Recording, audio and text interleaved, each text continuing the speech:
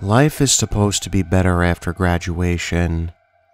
You walk across that stage, grab your diploma, and then you are welcomed into the real world with open arms.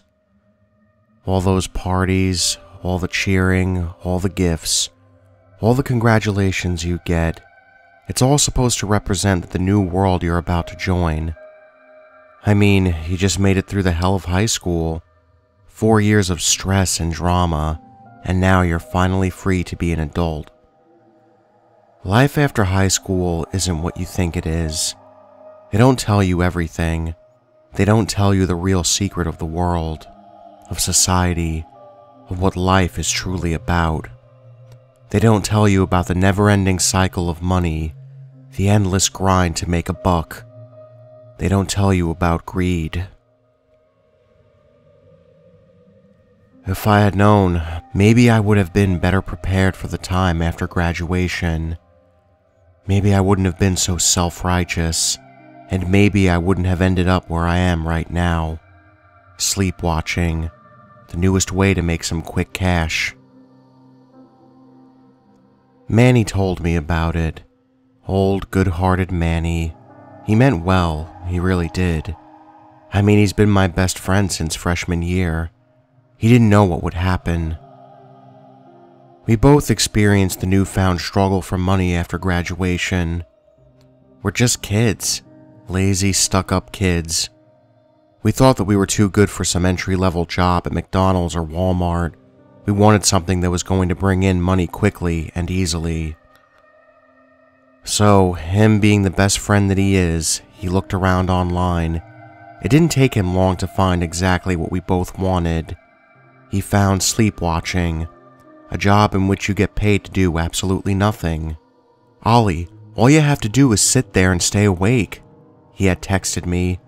The way he explained it, sleepwatching would be the easiest job on earth. And just like most things that end in disaster, it seemed too good to be true. So, me being exuberant about my brand new job opportunity, I raced to my computer with all the excitement of a boy who had just found Wonka's fifth and final golden ticket. Didn't talk to anyone else about it, just sat down at my desktop, launched Chrome, and began looking up the wonderful world of sleepwatching. You see, it's a pretty ingenious idea. People are afraid of being alone. With how connected the world is these days, they can't stand the loneliness of the night. So, of course, these people would pay extremely well just to have someone sit up with them while they rest for the night. Sleepwatching.net, as I found out, is the premier place to go to all of your sleepwatching needs. Just apply to join as a trusted watcher, and in a few days be matched with a sleeper in need. I signed up that day, all over Twitch, I typed into the bar, putting in information you shouldn't put into any website. I assured myself, though, I mean, I understood that sleepwatching.net needed to do a security check on me, make sure I wasn't joining for any nefarious reasons. It took a few days for the acceptance email to finally come in. I remember getting it, how I'd been refreshing my email endlessly, just waiting for the green light to pay dirt. I immediately logged into the website, and to my surprise, I already had an alert from a sleeper in need. In that moment, I wasn't thinking. I just knew that someone was willing to pay me. I clicked on the link and it gave me the brief profile of the sleeper who wanted me. Her name was Viola, a sweet name for a sweet, innocent old lady, 74 and alone in life. Her husband had died a few years earlier, and her family had leased her out an apartment and forgotten about her. She put on her profile that she had some trouble sleeping of late and thought that having someone younger with her would do a lot of ease to her insomnia. I greedily accepted. The rate for the job was amazing. Old people pay extremely well. We messaged a little that day, just short messages. She wanted to make sure I was okay with the job and the pay. All she needed me to do was to be on the webcam feed. She said she was fine with me doing anything else during the night. It had been around noon when we talked, so I decided to take a nap. I had to be prepared for an all-nighter, an all-nighter that would hopefully get me paid. It got dark around 9 where she lived. I was an hour behind, so it was still daylight when I got ready to call. Before I hit the dial button, a pop up window appeared on my screen. A special message straight from sleepwatchers.net. The rules. It said across the top of the page, listed below the simple heading was a short list Do not fall asleep. For no circumstances may you wake the sleeper. Do not touch the red emergency button unless there is an emergency. Do not fall asleep. I had laughed at the rules at the time. They were all basic, common sense that anyone should know before taking a job as a watcher. I clicked the agree button at the bottom of the page and then waited for my call to Viola to connect. She was such a sweet old lady. She had this innocent smile on her face as she appeared on the screen, and she looked genuinely happy to see me. Hi, Oliver, she said. Thank you so much for doing this. I hope this isn't too much trouble and that you have a good night. I assured her that I would, that I had a few open tabs that I would be working on while she slept. I told her good night and she laid down into bed. In what seemed like just a few short moments, she was peacefully asleep. I watched her for a little while. There's a strange peace in watching somebody sleep, watching their chest move as they breathe slowly. I was watching Viola at her most vulnerable, I knew there wasn't anything to worry about, but still, having a life in your hands can change you. After just a little while of watching Viola sleep, I began surfing the web. I had all night endlessly to search, so lucky me. I was getting paid to do what I would have been doing that night anyways. The night went by quietly. There was one point during the night I thought I heard something coming from the video feed.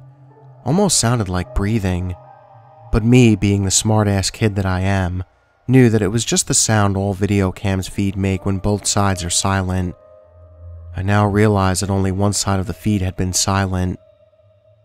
In the morning, when the first rays of the sun were beginning to fill Viola's room, she woke up. No alarm for her, just sunlight.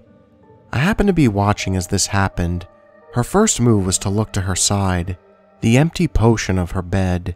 She placed her hand on the unused pillow there, and I could have sworn I saw her body shudder. Then I guess she gathered herself and she turned to look at her laptop, which was sitting on a desk next to her bed. She smiled that genuine smile again when she saw me, asked me how my night had been. I told her it went smoothly.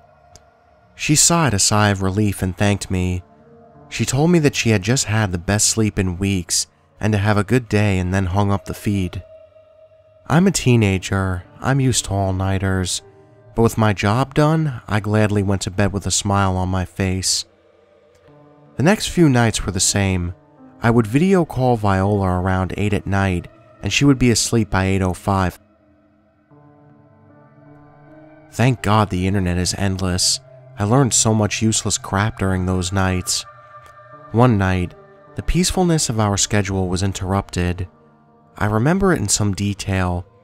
Viola woke up at around 3, drowsily nodded at me and headed to the bathroom which from the camera angle I could see was connected to the bedroom by a small door on the other side of her bed.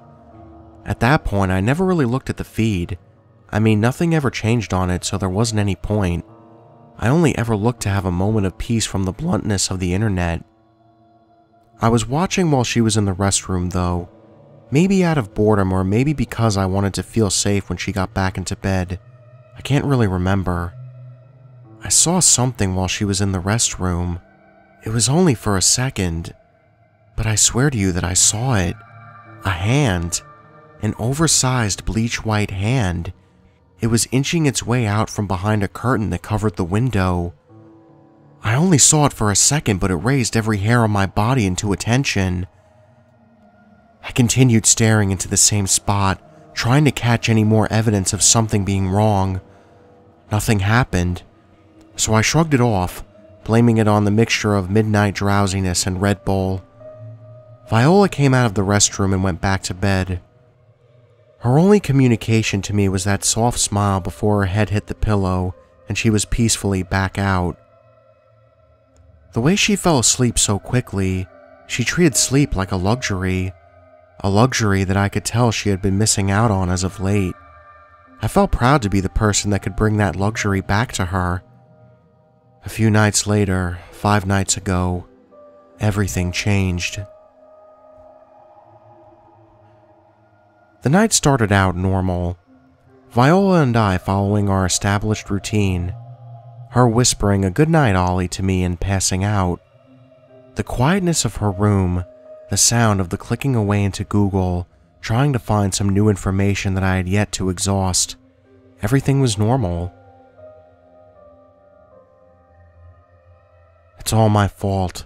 I didn't nap as much as I should have that day. I didn't have a Red Bull on me. I didn't try hard enough to stay awake. I fell asleep. I broke the rules. I slept hard. I was out for at least an hour, drooling on my keyboard, dead to the world and useless to Viola. I woke up suddenly.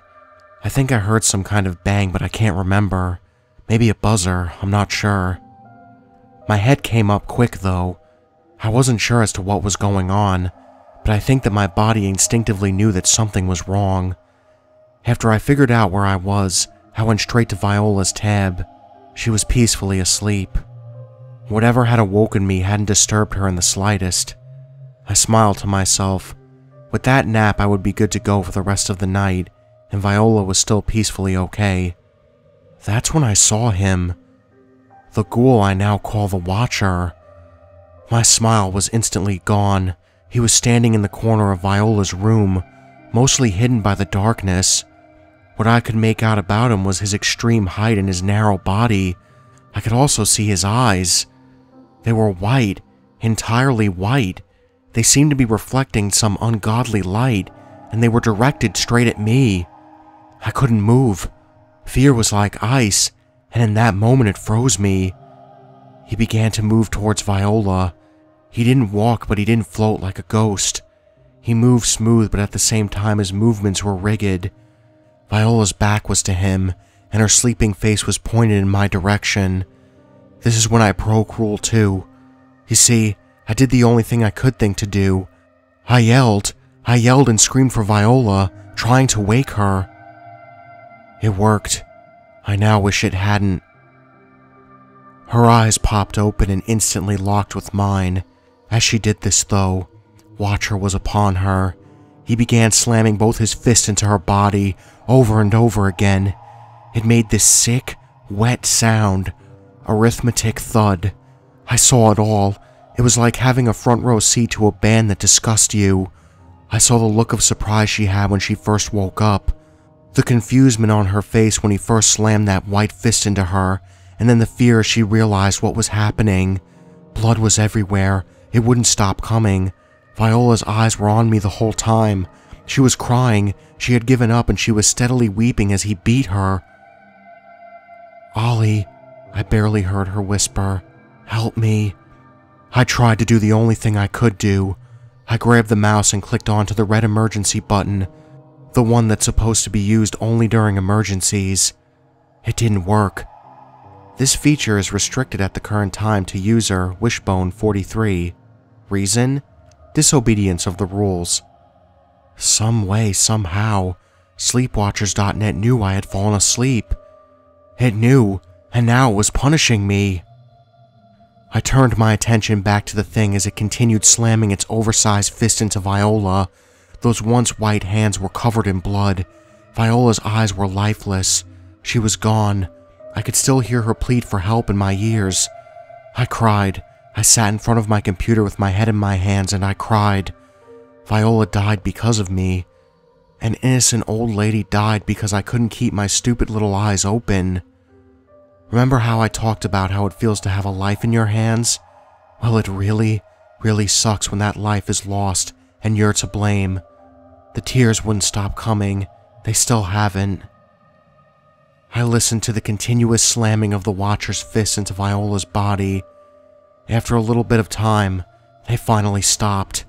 It took every ounce of courage that I had to look up, but I did. Those white eyes were staring at me. Those huge white hands, covered in Viola's blood, hung limply at his sides.